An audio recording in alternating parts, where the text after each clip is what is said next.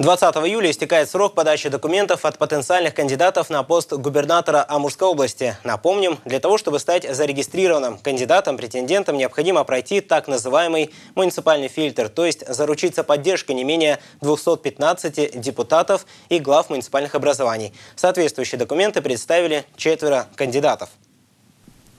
В минувшее воскресенье пакет документов в областную избирательную комиссию принес в Рио губернатор Амурской области Александр Козлов. Он, как и его потенциальные соперники по выборам, представил 225 подписей, максимально допустимое законом количество, свою поддержку.